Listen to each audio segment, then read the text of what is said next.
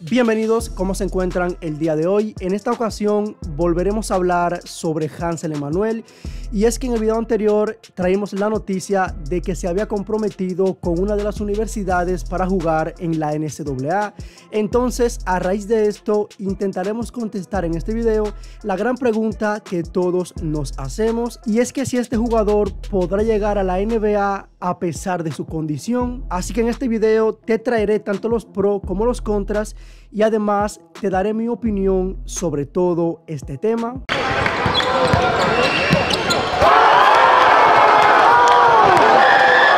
Lo primero que tenemos que comentar es que de momento este jugador sí ha mostrado un gran nivel en todas las ligas donde ha ido. Les recuerdo que este jugador en la liga donde estaba jugando tuvo unos promedios de 26 puntos, 11 rebotes, 7 asistencias y 3 tapas. Aparte de esto es un jugador que solamente tiene 18 años de edad y tiene una altura de 6,4 o 6,5 pies de altura.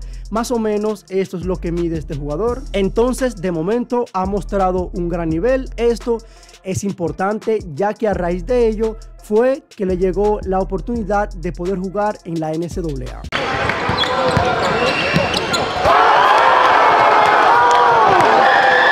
Así que si este jugador hubiese sido malo, pues obviamente estas oportunidades de distintas universidades no le hubieran llegado. Esto nos confirma que este jugador de momento muestra un gran nivel y que con el tiempo poco a poco puede seguir creciendo y puliendo su juego. Y para contestar a la pregunta del video sobre si Hanser Emmanuel puede llegar a la NBA, mi respuesta es que todo va a depender de cómo le vaya en la universidad, porque las posibilidades de llegar obviamente van a estar ahí, pero todo va a depender de su rendimiento dentro de la NCAA. Así que para esto tiene que continuar con los grandes números que ha tenido, eh, aunque entendiendo que no van a ser iguales, ya que ahora va a jugar en una liga realmente competitiva y de donde han salido la mayoría de los jugadores más importantes de toda la NBA. O en pocas palabras, va a jugar contra los grandes prospectos que mañana serán elegidos en el draft de la NBA. Así que ahora es cuando este jugador tiene que demostrar todo el talento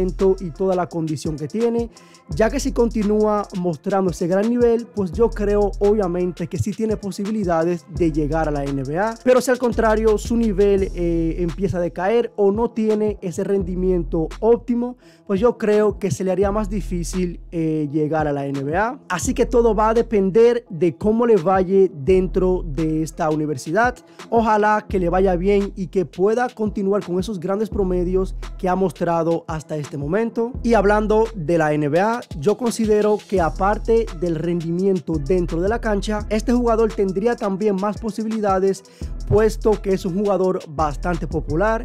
Y digo esto porque a los equipos de la NBA obviamente les conviene tener a jugadores populares que llenen las canchas que venda mercancías y que haga o suba el valor de dicho equipo. Por ejemplo, cuando LeBron James se fue para Miami Heat, automáticamente este equipo aumentó su valor, eh, las taquillas aumentaron de precio y la mercancía se vendía muchísimo más rápido. Ya que LeBron James es una figura bastante popular, te voy a poner otro ejemplo. Si Stephen Curry actualmente abandona los Warriors y se va para el Orlando Magic, automáticamente esta franquicia, que es una de las menos populares de toda la NBA, aumentaría su popularidad y empezaría poco a poco a vender más boletas, a vender más mercancía y a llenar las canchas, puesto que contarían con uno de los jugadores más populares de toda la NBA.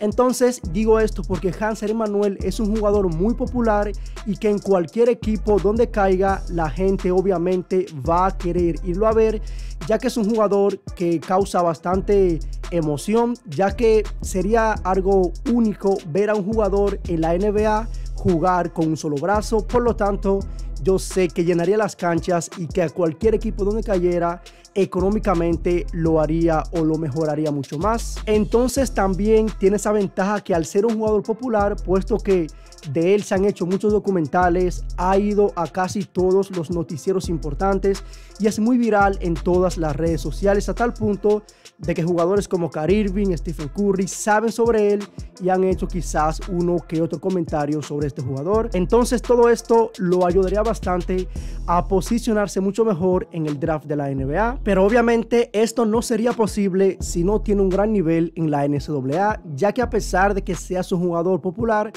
si no tienes el nivel, pues es muy difícil que te puedan seleccionar. Esto que les acabo de comentar es si tiene un gran nivel y tiene grandes números en la universidad, entonces también se le sumaría su popularidad a la hora de entrar a la NBA. Eh, como les dije, es un camino bastante complicado porque todos sabemos la condición que tiene este jugador y veremos si puede ser competitivo en la NCAA y posteriormente en la NBA. Y ya te he comentado algunos de los pros que tendría este jugador a la hora de entrar a la mejor liga del mundo, pero ahora te diré algunas de las desventajas que podría tener. La primera, y creo que es la más obvia de todos, su condición ya que le falta un brazo y esto es muy importante porque tendríamos que ver si algún equipo de la NBA va a confiar en él a pesar de esta condición. Ustedes saben que ya la NBA es otra cosa, es la liga más competitiva de baloncesto de todo el mundo y solamente la élite de la élite entra en este tipo de ligas. Por lo tanto, será de suma importancia que este jugador muestre una condición bastante buena para que un equipo le pueda dar la oportunidad a pesar de su condición y sobre todo ganarse la confianza de ese equipo que vaya a confiar en él. Otra de las desventajas que podría tener y es algo que lo he escuchado en internet es el hecho de que la NBA quizás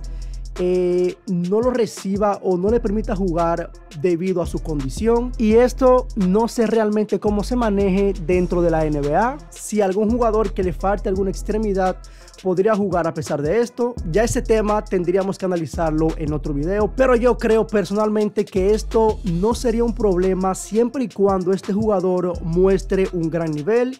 Y digo esto porque de momento hemos visto a un jugador que no pareciera que le faltara un brazo, ya que juega de una manera increíble. Entonces creo que la NBA, si ve el gran nivel que tiene este jugador, no creo que le impida jugar dentro de la liga, ya que no se le trataría como un jugador especial, sino como un jugador común y corriente que puede jugar sin ningún tipo de problemas. Así que creo personalmente que este no sería un problema y no creo que la NBA le impida jugar siempre y cuando este jugador eh, llegue a la NBA y muestre un gran nivel. Pero lo que sí tiene que enfocarse este jugador es en romperla en la NCAA y demostrar que a pesar de su condición es un gran jugador y que puede competir contra los mejores de todo el mundo para que así tanto los entrenadores como personas encargadas de darle seguimiento a los prospectos puedan poner sus ojos en él y decidirse por él en el draft de la NBA. Y yo personalmente le tengo una recomendación a este jugador y es que no salte al draft rápidamente